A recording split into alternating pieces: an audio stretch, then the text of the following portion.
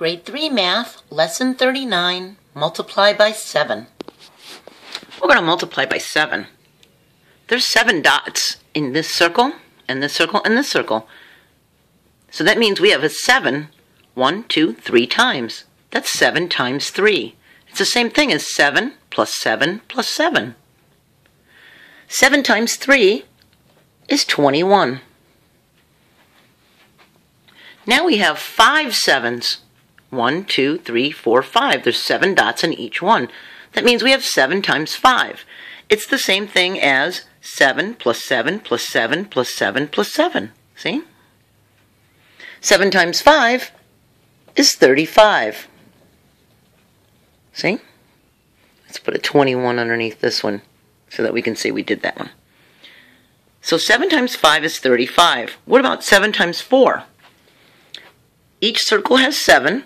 There's 4 of them, so we have 7 four times. See it? 1 time, 2 times, 3 times, 4 times.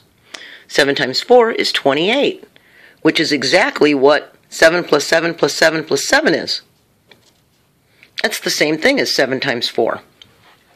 So here's the 7 times table. It goes 0, 7, 14, 21, 28, 35, 42, 49, 56, 63, 70, 77, and 84. When you skip count by sevens, this is what happens. You go from 0 to 7, then to 14, then to 21, and then to 28.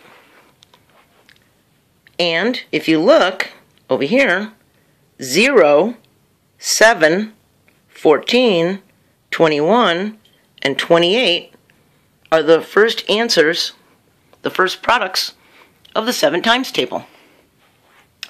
Make some cards, quiz yourself, or have a family member or friend quiz you.